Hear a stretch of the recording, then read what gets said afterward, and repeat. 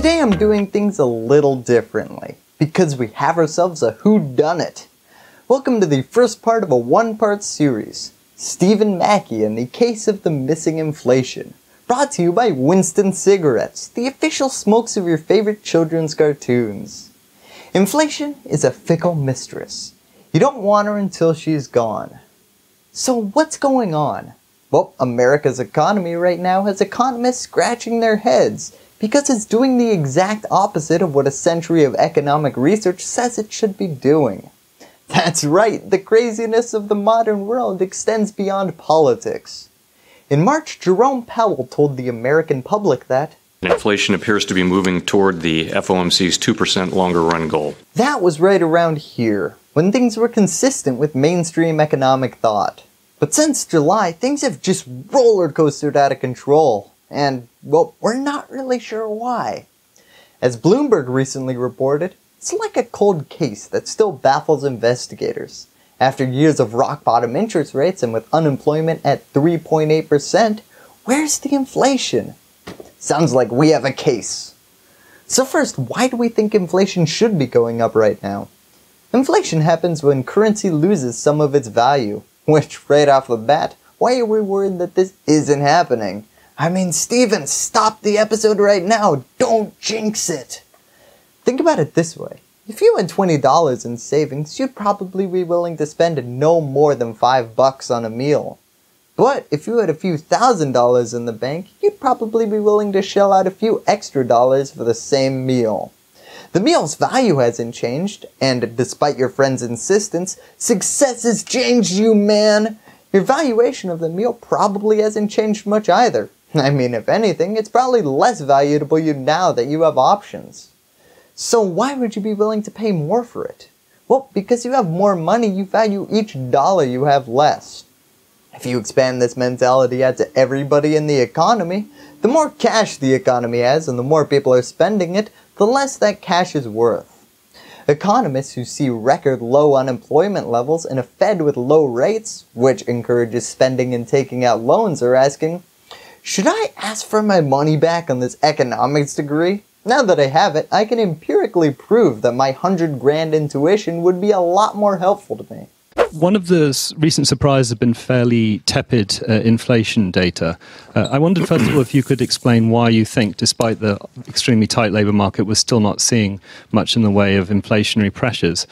Yeah, it's weird. More jobs and more access to money, but nobody wants to irresponsibly spend that money. This brings us to our first suspect. Essentially, we've become more fiscally responsible as a country or secular disinflation as people who aren't fun to have at dinner parties refer to it.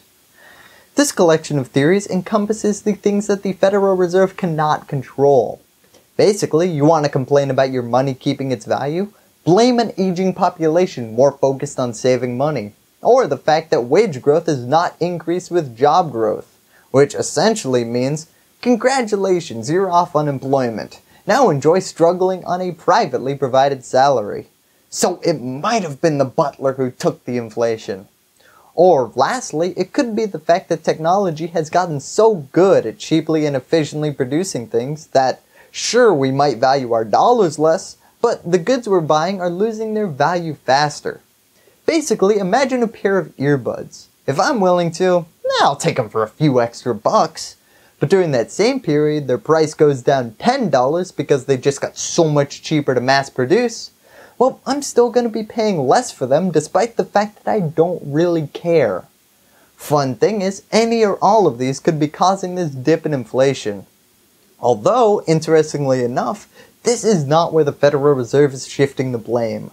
Probably because everything I've listed so far are things that are out of the control of the Fed, and Jerome Powell just wants to seem relevant to the conversation. Job market that isn't creating huge inflation yet, let's let it run and, and see where this leads. So we, we need the concept of the natural rate of unemployment because we need to know whether employment is, we need to have some sense of, of whether employment is high, low, or, or just right. That's right. The natural rate of unemployment. Basically the unemployment rate at your farm to table, no hormones, no stimulus, no booms or busts added economy. When the unemployment rate dips below this theoretical rate, Federal Reserve bankers start to loosen their ties a little bit. Because, in a problem that more than 90% of the country would probably vote for, if too many people get jobs, the inflation rate explodes because then more people are spending money.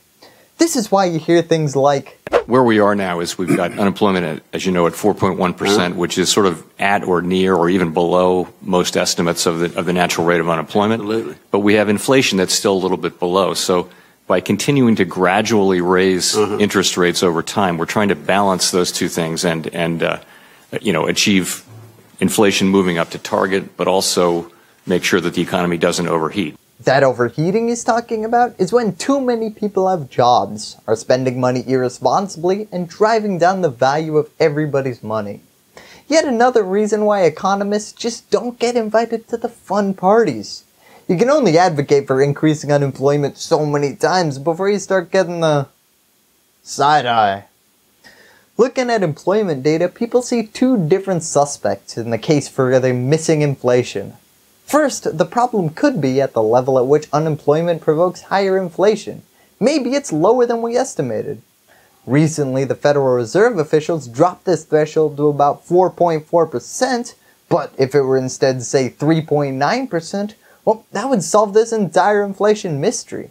And it's critically important to know whether this is the cause, because if it were 3.9%, that changes the Fed goals to advocate for an additional 0.5% of the population to be employed, or 1.5 million people. The other possibility is that Don't believe those phony numbers when you hear 4.9 and 5% unemployment. The number's probably 28, 29, as high as 35. In fact, I even heard recently 42%. that was Trump on the campaign trail. And, well, he kinda had a point. Unfortunately, we haven't changed the way we report job numbers since he came into office, and now he supports the method. The unemployment statistics everybody cites are only people who don't have a job and have tried to get a job in the last six months. Some are saying despite 3.9% unemployment, we have this vast side pool of people who just gave up on applying. And they're, well, they're really taking one for the team by being frugal with their money and not spending money they don't have. Fortunately, or unfortunately, depending on whether you like people or money more, labor force participation rate is still inching higher, which might suggest there's even more uh, excess capacity in terms of workers. That's right. Um, so I do think it means we might be able to pull some people in from the sidelines, and that's sort of the Fed's plan. The final potential culprit in the case of the missing inflation is anchored expectations. Essentially, if you believe in something hard enough, it will come true.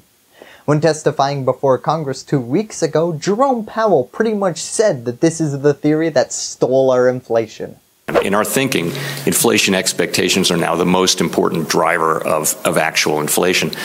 Wow, okay, this is a weird theory to end on, because everything up until this point has probably led you to believe, well, we weren't expecting this. Basically, his argument is that the public thinks that the Fed is doing such a good job right now that nobody is expecting inflation to increase. Hey, buddy, don't hurt your arm too badly patting yourself on the back. If you look at humans as though they're machines whose every choice is dictated by the cold hard desire to maximize the amount of money they have, this theory does make the most sense. But sometimes we need to kind of take a step back, realize people are people, and notice that our economic models don't factor in the thousands of people who drunkenly order Cutco knives at 2 in the morning. If you need a knife that can cut through a phone book or a penny, I'd focus my concern more on the quality of meat than the quality of knife. The argument here is that, if you don't think your money's going to decrease in value, you're probably going to feel a lot less pressure to spend it immediately as soon as you get it. Jerome Powell would say that the fact that inflation hasn't been a relevant part of the conversation since a time when beanie babies were selling for a family fortune, most people, when they come into money, will probably feel less pressure to spend their money immediately, which would hamper down on inflation. Which, okay, Jerome, I think you've spent a little too much time thinking of people as numbers on spreadsheets here. So there you have it, the suspects. One thing I can tell you for sure is that someone's not spending money the way they're supposed to. It's either some combination of an aging population choosing to save their money, a lack of wage growth forcing people to be frugal, and other items becoming cheaper faster than we can devalue our money, or it could be a shift in the percentage of unemployment that causes inflation. Lastly, it could just be that the majority of people don't really expect anything to change. Man, I hope they skipped this video. The worry now is pitting the blame on the wrong theory for taking our inflation could lead to worse problems, or even worse missed opportunities.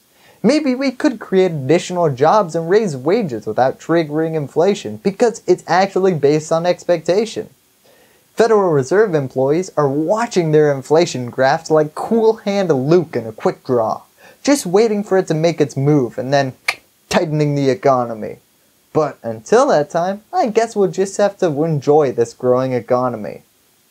Let me just dedicate this episode to the unsung heroes of America. The cheapest of cheap individuals who won't pay one cent above the price they saw on a Chinese wholesale website. I salute you. If you know anyone like that, why don't you share this video with them? Make them feel good. Thank you and that's all I have to say about that. Hey YouTube, I hope you enjoyed this video. If you want to support independent, nonpartisan news, remember to subscribe by clicking on this floating logo to the right of my head. Ring that bell so that freedom will continue to ring and give me a thumbs up if you like what you saw. Lastly, as always, thank you for watching.